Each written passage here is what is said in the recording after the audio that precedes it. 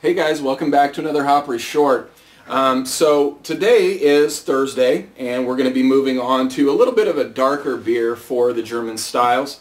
Uh, this is called the Uerige Sticke and uh, this is an alt beer um, which basically in terms of you know how we pronounce it over here it'd be the kind of the equivalent of a brown ale.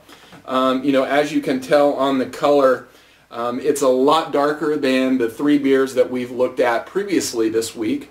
Um, I also wanted to point out the unique bottle style.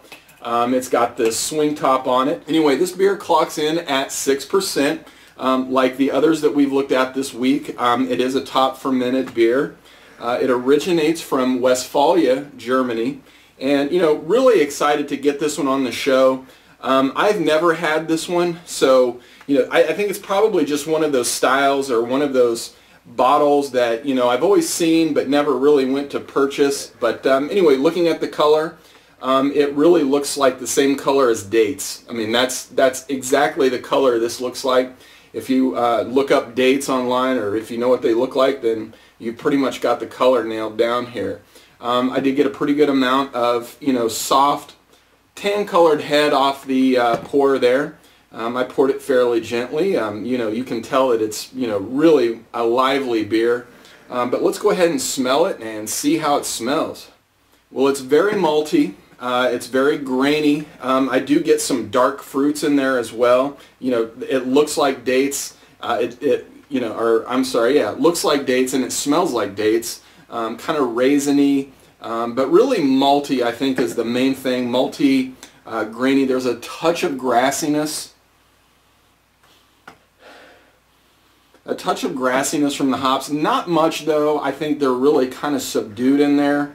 Um, really, these, this type of beer, this alt beer, is known for being uh, maltier than it is hoppy. So with that said, uh, let's go ahead and take a drink and see how it tastes. So I would say this is grainy, you know, the, the flavor is grainy first and foremost. There is a touch of spiciness in there from uh, a little bit of the hops that they've added. I don't get a whole lot of sweetness though, which is kind of interesting. I would have thought that you would get a little bit more sweetness. Um, it's not so much dry as it is just kind of um, bitter. Um, I don't get a whole ton of flavor. Um, you know, not really blowing my mind by any stretch of the imagination. It's a decent beer. Uh, I'm glad I have the bottle. In fact, I will show you guys at a later date what you can do with these types of bottles.